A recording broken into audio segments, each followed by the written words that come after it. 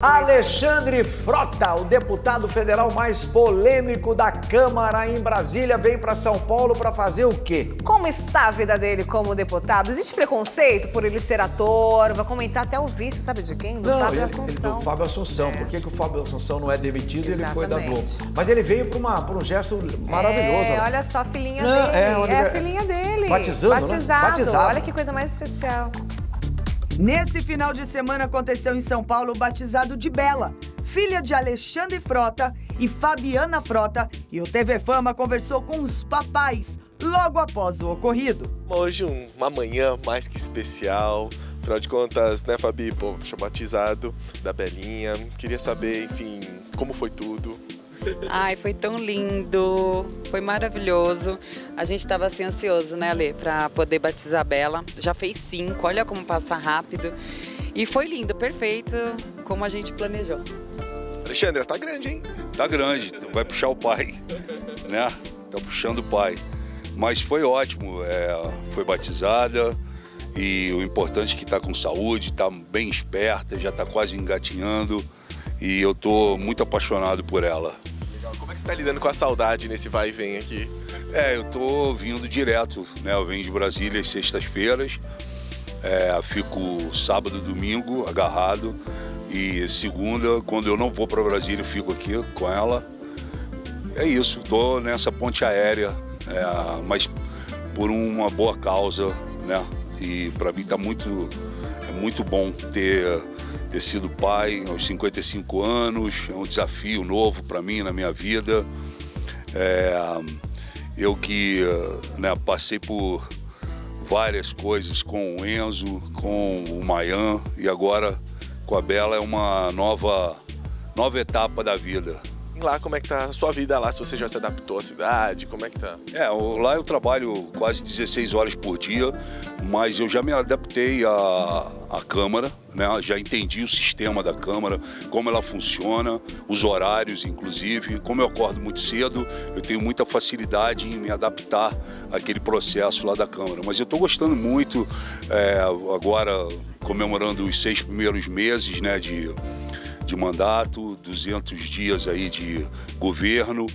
É, tem sido puxado né, temas impopulares, polêmicos, é, que muitas vezes é, requer discussões acaloradas lá dentro, como da Previdência, é, e agora vem a tributária.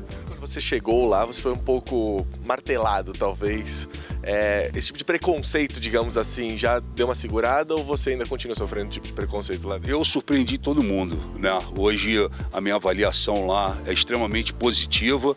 Eu estou entre os 513 deputados, eu estou entre os 10 primeiros deputados, é, influente e de é, e da maneira como eu venho atuando. Então, é, para mim tem sido gratificante. É, a gente está vivendo um momento agora é, tenso né, com, essa, com essa reforma da Previdência. É, ao mesmo tempo, eu tive convite de outros é, partidos. É, então, para mim, assim, está sendo uma experiência enorme, diferente de tudo que eu imaginava. Quando a gente sai daqui, sai da rua e vai lá para dentro, a gente entende o mecanismo, como funciona e as cobranças também são enormes por parte do, do povo brasileiro, com toda razão.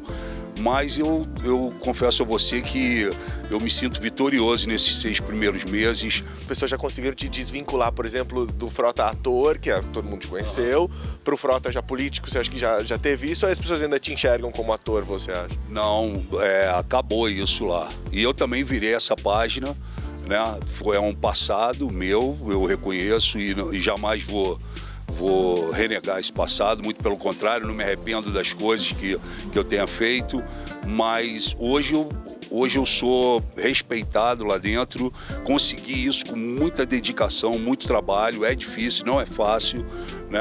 mas é, as pessoas hoje me enxergam de uma outra maneira e eu abri uma coisa que é importante lá, que é o diálogo com, com quase todos os parlamentares. Né?